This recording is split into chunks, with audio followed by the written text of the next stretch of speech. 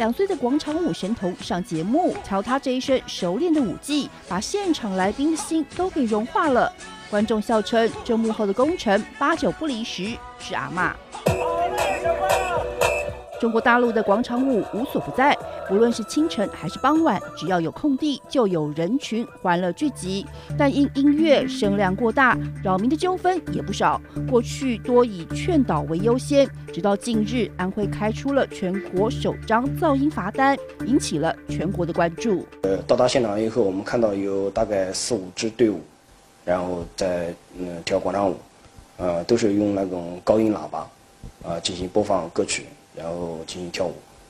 呃，现场很明明显到，其实就是听到，呃，很大的声音。由于公园广场不到五十公尺的马路对面正好是一间医院，附近还有住宅和学校，每天一两百人从傍晚天还没黑就开始，一跳就是到九十点。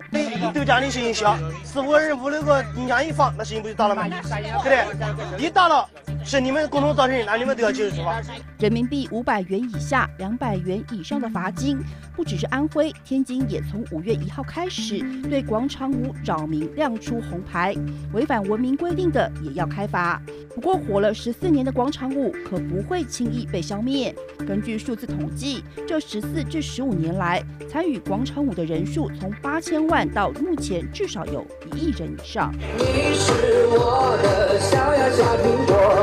万名大妈聚集北京、上海、天津、深圳等城市，齐跳广场舞，成功创下金氏世界纪录。二零一五一六年算是广场舞的应用创业元年，有专家估计，广场舞所带来的商机高达兆元人民币。两年间，共有六十多个手机 App 上线，包括服装、设备、教学、中老年人社交平台，如雨后春笋般出现。不过同质性过高，如今剩下三四个，但注册人数相当惊人。作为一个八零后组成的创业团队，我们打造了就爱广场舞创业项目。目前我们平台累计的注册用户已经达到了一百多万。范兆一是就爱广场舞的创始人，他说大家都累积了不少用户数量，但未来的商业变现怎么走，依然在摸索。但看在市场投资者的眼里，还是有前途可言。双人舞、水兵舞、健身操、形体舞，简单好看的舞蹈都在这儿。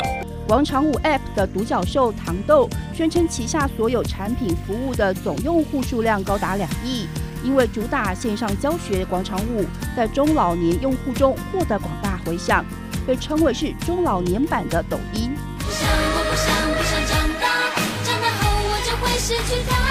近期传出以腾讯为首的多家投资公司为糖豆融资超过一亿元人民币，原因就在于腾讯旗下的通讯软体微信将五十五岁以上的用户视为成长最快的族群。专家还指出，随着行动网络发展进入下半场，育婴和中老年人的用户将是不可忽视的新重点。